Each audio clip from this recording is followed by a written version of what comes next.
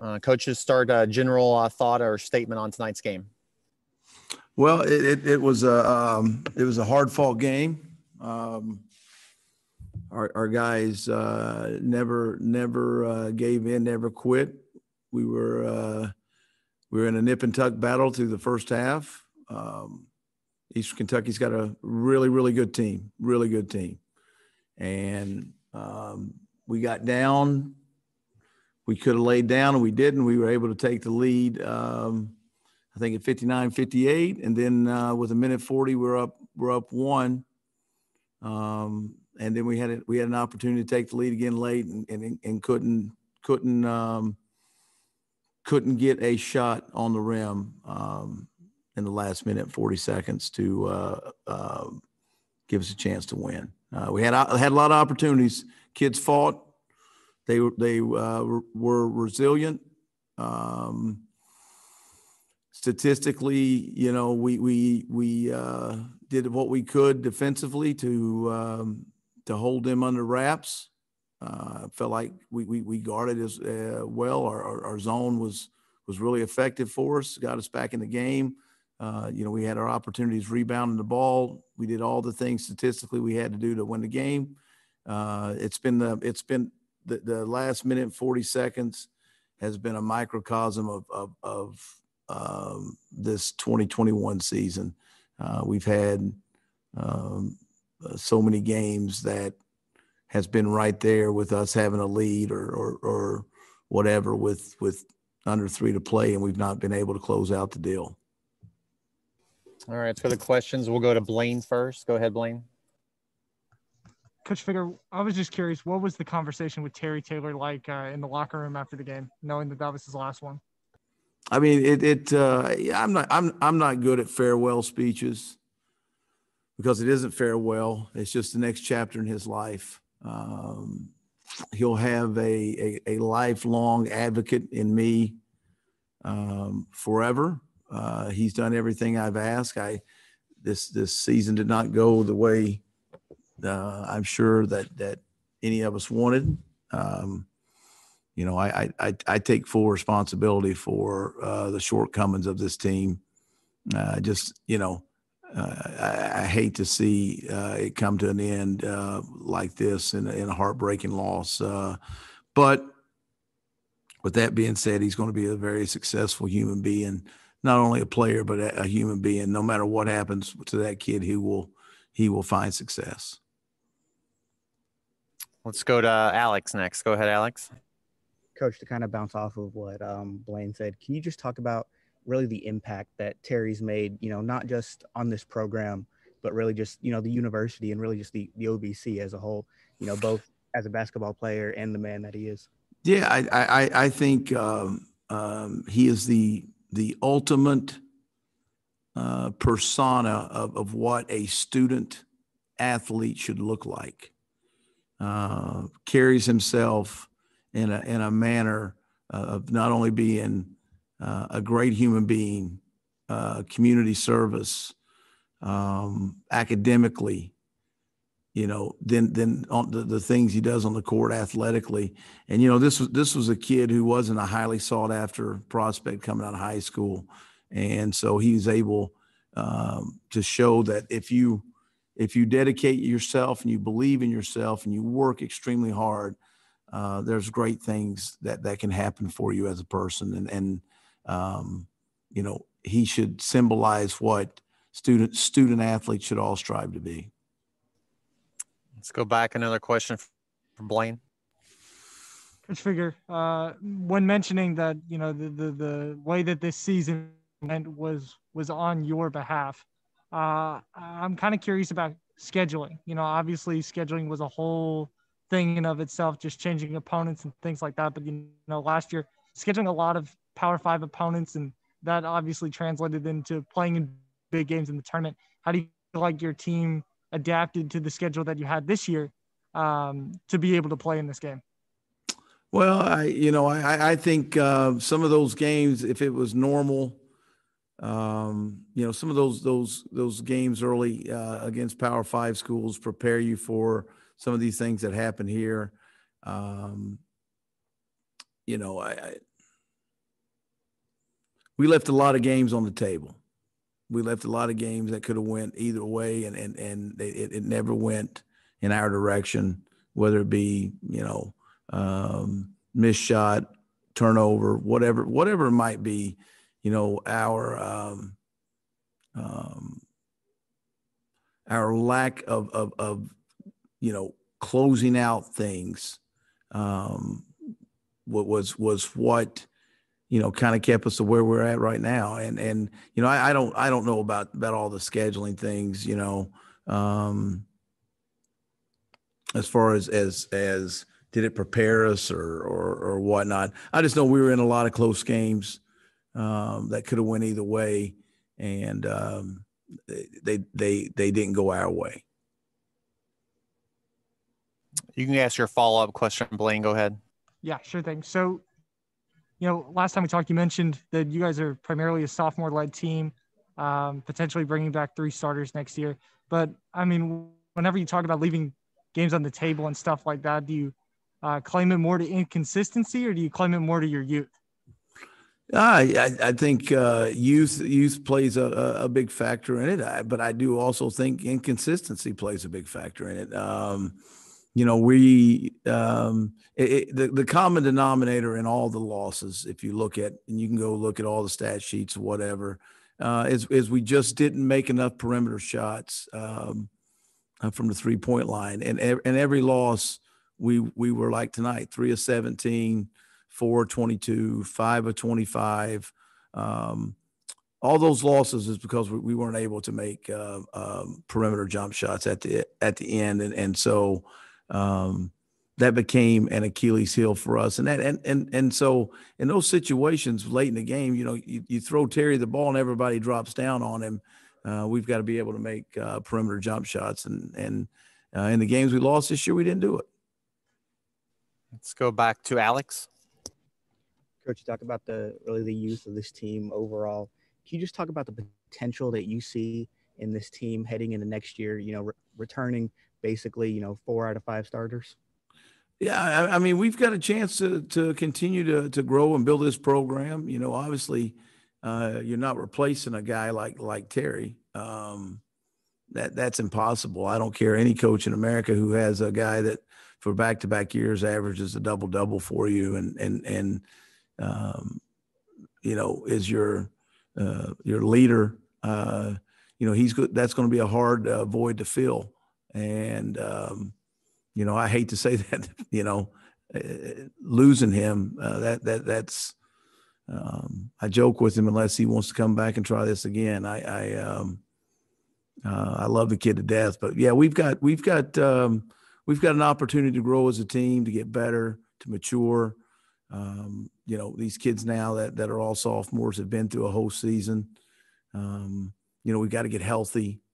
Um, and, and, and, and, and we've got to add some, some more uh, pieces to the puzzle. Let's do one more for coach and then Terry's going to join us. So go ahead, Blaine. Yeah. You know, obviously it's a little early to look at something like this, but you, you mentioned that you're going to have a void to fill with Terry, uh, with a healthy Jordan Adams and, you know, Mike Peake potentially coming back. I mean, do you think this team is going to have more of a post presence with him? Uh, how do you think you might have to make adjustments offensively going forward? Oh, I, I haven't even thought about that yet. I mean, um, you know, uh, that's I, am trying to just succumb to the grip that I'm not. I don't get to coach Terry Taylor anymore. Um, so that I, that that will sink in at some point in time. Um, so we'll we'll we'll look at that down the road. But right now, I'm just, you know, um, I'm I'm sad for um, a, a, young man that that has given his his um, his his whole being to this university and believing in me uh, from day one. Coach, uh, thanks for joining us. Thank you, guys. Thanks, Coach. All right, hold on. We'll have Terry here in just one second.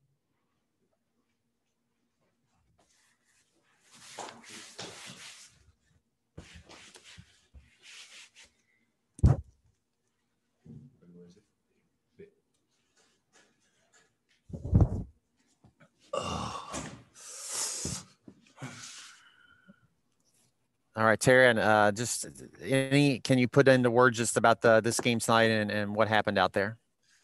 Uh, you know, coach told us from the get go that it wasn't gonna be easy, and we we kind of knew that. And um, you know, they were gonna make runs, and we were gonna make runs, and you know, we talked about doing the little things like communicating and getting box outs and just doing all the little things that we haven't done all year just for this tournament run we were trying to make.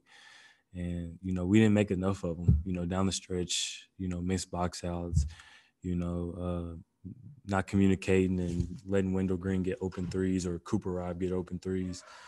And, um, you know, that's just, that just goes back to, you know, early in the year, you know, um, you know, but I just hope, you know, it's over now. And I just hope my younger teammates or former teammates now, I hope they learn from it and just, you know, try to play for each other and not let the hurt like feel this way that I felt. So that's about it. That's, well, let's go to some questions. Uh, Alex, you're up first.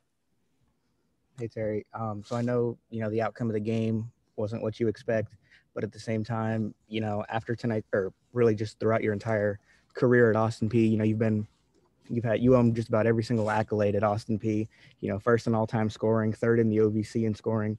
Can you just talk about what it means to cap off really one of the most successful careers in OVC history? Um, you know, I just gotta thank God, you know, first because he put me in this place. You know, without him, I wouldn't even have, I wouldn't have the ability to go out there and do what I did. And then second, my teammates and coaches, they just believed in me since day one. And you know, I can't, I can't really. I did put in the work, but you know, them just instilling the confidence in me to go make plays and you know, go out there and just do what I do, you know, that really means a lot. And, you know, I'm forever grateful for every teammate that I've had and all my coaches that I didn't had. And, you know, they made they made me a better player and a better person. So, you know, you know, shout out to God and them. None of it been possible without none of them. Let's go next to uh, Blaine. Yeah, Terry. Um, on that last play there, chance to tie the game, send it into overtime. Was it disappointing not getting that final opportunity on the last possession uh, to send the game into an extra period? Uh, yeah. I mean, but you know, coach draws up a play, and you know, I'm a team guy first, so you know, I'm not really tripping about, you know, not getting the last shot or whatnot. You know, first Reggie had just hit a big shot, so he wanted us to flare Reggie and throw it to Reggie, and if not, hand off to Jordan, and you know, Jordan could pitch it back to me, or Jordan could take the shot, and you know, you know, the outcome it got a little sloppy at the end, like with the play, but you know, it happened. And, you know, I wish the outcome was different, but you know, things happen for a reason. I can't change them. So um it is what it is, but you know, we gave it our all, and that's all I could ask for. You know, they didn't quit, they didn't give up. You know, they stuck with me even in the huddles. You know, when stuff got tight and they was hitting shots and we were missing, you know, we dug in deep. So, you know, it is what it is. But that just goes back to the end of the, the all the plays from before. You know, we could have prevented ourselves from being in that position and maybe put them in that position if we stopped, if we did what we were supposed to do. So I can't really be hung up about a last shot if we didn't do what we did in the beginning. Blaine, go go go ahead with your follow up question. Yeah. So, I mean, it's hard to look back at a whole season like like this one, but I mean, just recapping this final season as a whole, I mean, it, is it tough to swallow the? Um, I don't want to say missed expectations, but I mean, uh, you know, that's, I mean, that's kind of, I mean, it kind of is hard, but you know, at the end of the day, like, you know, we still went out there and played, and you know, try to give our best no matter what you know, expect expectations are what they are. You know, people expect you to do this, but some things just don't happen that way. And you know, certain people answer and some people don't. And you know, we just didn't happen to Coast. But I mean, we got to play our season. So I mean, at the end of the day, like I was, I'm more happy that I got to play my senior year than anything. You know, it didn't happen how I wanted it to. You know, cutting down the nets on Saturday, but you know, I got to play my senior year and I was healthy for the whole year. So, you know, that's a blessing in itself. So, you know, next year I just hope they don't pay attention to all the expectations. Like I don't, uh, I've never paid attention to them like for a sophomore slump or can he repeat or can he do this again? You know, you just gotta go out there and go to work and not pay attention to it because people gonna say what they want to say, but at the end of the day, you gotta go out there and work and just be you. So it is, as I've been saying, it is what it is. Let's go- let's go to Colby next. Terry, uh, I know this is uh, fresh and raw, and maybe not something that you've even taken the time to reflect on right now. But what will you take away from your experience as a governor? Um, you know, when I first got here, I was 17, and you know, I didn't really know much about college basketball or just you know, Coach Fig at that. But you know, or Austin, or Austin Peay for real. I mean, I knew of it, but not really. But the more I got here, the more I like loved it, and like I just want to stay here and just you know build something with Coach Fig because you know the fans are great. You know, the people around here are great, and you know, Austin Peay is like a second home to me. Like people always ask, why don't you never go home? Because I mean, I'm kind of already home at Austin Peay. So, uh, you know, they just they just welcome me with open arms, and you know, I'm forever grateful to even, you know, have that opportunity to come in and, you know, try to change a culture and try to like help the younger guys. You know what I'm saying? You know, that was my main focus this year. Like, even if I didn't win Player of the Year or anything else, you know, my main focus was to be a leader and try to bring the younger guys along because I knew it was going to be a weird but difficult season. So, you know, I'm forever grateful for my time in Clarksville at Austin Peay. You know, it made me who I am. It made me more grateful. You know, it made me hungrier to play the game because you know people look down at Austin Peay. and you know it just makes you want to go out there and prove them wrong. So, you know, Austin Peay. forever uh, has my heart, and I'm forever a go. Terry, I think that's a good way to end it. Thanks for your time and congratulations on a tremendous career. Hey man, thank y'all for everything. I appreciate y'all.